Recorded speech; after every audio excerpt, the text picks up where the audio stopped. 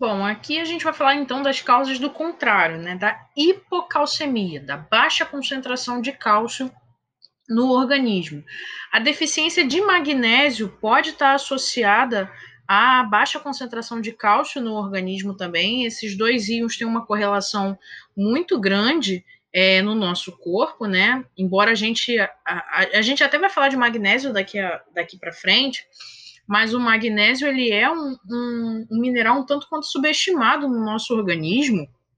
E pouco se fala dele, né, numa dieta alimentar equilibrada, mas a correlação deles é muito grande, né? A ingestão de, de cálcio junto com o magnésio vai regular diversos processos metabólicos no nosso organismo. Então, a, a, a, a associação entre eles é muito grande e normalmente quando um abaixa, o outro abaixa também. Então, a gente tem essa, essa relação entre eles.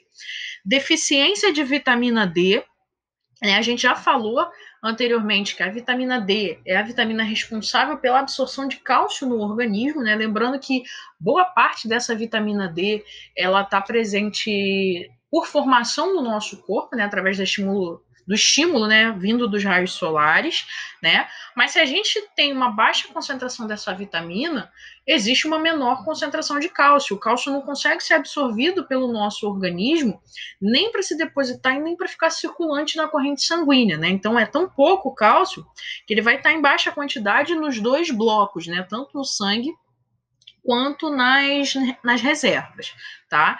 Doenças gastrointestinais que vão interferir na absorção ou da vitamina D, ou do cálcio, ou dos dois, né? Então, muitas vezes a gente fala na desnutrição como sendo a não ingestão de determinado nutriente, o que nem sempre acontece. Às vezes a pessoa tem uma alimentação ali adequada, certinha, correta, né, com todos os nutrientes que ela deveria estar consumindo, só que o organismo não consegue absorver. Então, você pode estar tendo um problema associado à absorção do nutriente e não à ingestão.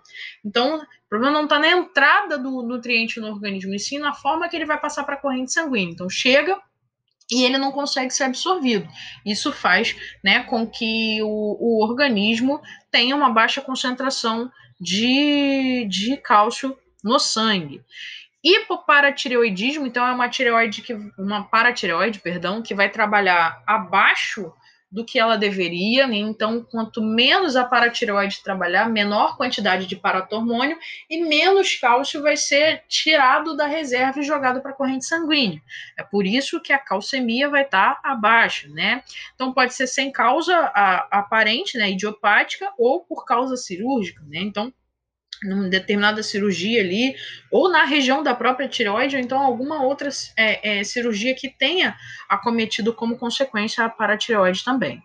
Casos de insuficiência renal, tá? Nefrose ou outras condições com baixos níveis de proteínas séricas, lembrando que as proteínas vão estar ali muito relacionadas à circulação do cálcio, a gente falou isso no início da apresentação da parte de cálcio.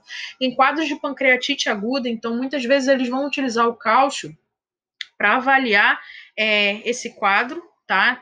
Tanto na hipocalcemia quanto na hipercalcemia, então tanto a baixa quanto a alta, eles podem estar ali associados ao evento pancreático, né, de inflamação do pâncreas, porque boa parte dos quadros de pancreatite pode ser causados por cálculos na região biliar, e esse cálculo, né, da vesícula pode acabar ali obstruindo uma parte do pâncreas, causando essa inflamação, tá?